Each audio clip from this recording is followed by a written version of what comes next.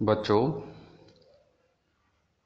हमारे एक एक सब्सक्राइबर ने पूछा था, अभी हमने रिसेंटली एक वीडियो डाला था एमसीक्यू वाला क्लास नाइन्थ का मैथ का तो उसमें एक क्वेश्चन था एटीन नंबर पर A upon B plus B upon A equal to one where A and B is not equal to zero then find the value of A cube plus B cube तो इसे solution मैंने दिया है यहाँ पर। तो देखिए A upon B plus B upon A equal to one given है। इसका एलसीएम लेकर के सॉल्व करिए।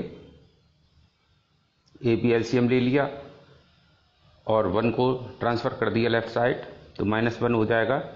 तो ए बी इसका एलसीएम ले करके इसको सॉल्व करिए। तो A square plus B square minus A B आएगा upon A B equal to zero then A square plus B square minus A B equal to zero हो जाएगा। इसे हम मान लेते हैं इक्वेशन नंबर वन दूसरी तरफ़ क्या है? A cube plus B cube की हमें वैल्यू निकालनी है। तो A cube plus B cube किसके इक्वल होता है? आइडेंटिटी लगाइए। A plus B into A square plus B square minus A B अभी इक्वेशन वन में देखा हमने। A square plus B square equal to A B zero है। तो इसको ज़ीरो रख दीजिए।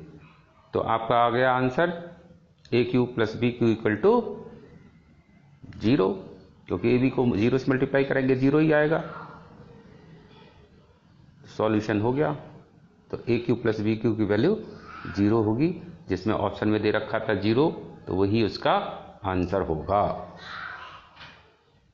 समझ में आ गया होगा? सिंपल है। तो बच्चों, अगर सॉल्यूशन अच्छा लगा है, समझ में आया है तो चैनल को सब्सक्राइब करिए और लाइक करिए। Thank you.